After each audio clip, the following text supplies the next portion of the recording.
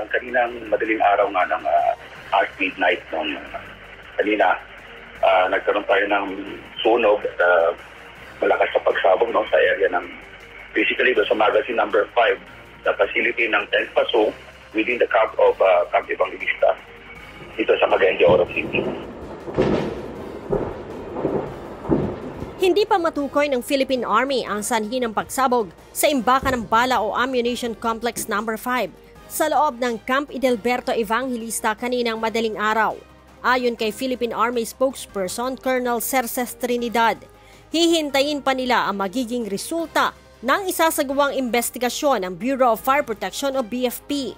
Magsasagawa rin ang sariling investigasyon ng Philippine Army hinggil sa insidente the cause of the fire is still under investigation and uh, of course uh, our EOD experts are uh, asking for a cool-off period kasi uh, uh, these are this uh, involves yung ammunitions and very uh, dangerous po no? Kung sakaling papasukin ka agad yun as there might be some uh, unexploded uh, ammunitions during that incident. So medyo mahirapan po tayo makapasok agad.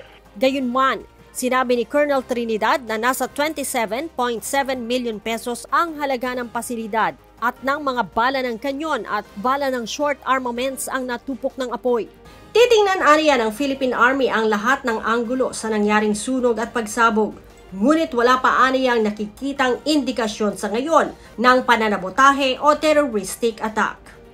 Sa nangyaring pagsabog, walang naiulat na sundalong nasugatan, maliban sa tatlong sibilyan na nagtamo ng minor injuries kunit nasa stable ng kondisyon. Casualties on the part of the soldiers.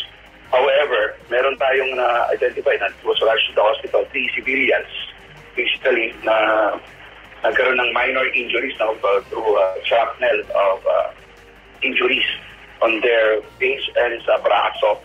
Isang 45 years old and uh, 22 years old and one uh, minor 15 years old. Nasa 49 na pamilya o 233 individual na naninirahan malapit sa pinangyarihan ng pagsabog ang inilikas. The Army leadership assures continued assistance for the displaced family and uh, injured civilians. Sinabi ni Colonel Trinidad na ang mga nasunog na mga bala ay reserba lamang ng 4th Infantry Division at wala naman itong direktang epekto pa sa mga sundalo sa ground. Leia Ilagan, UNTV, News and Rescue.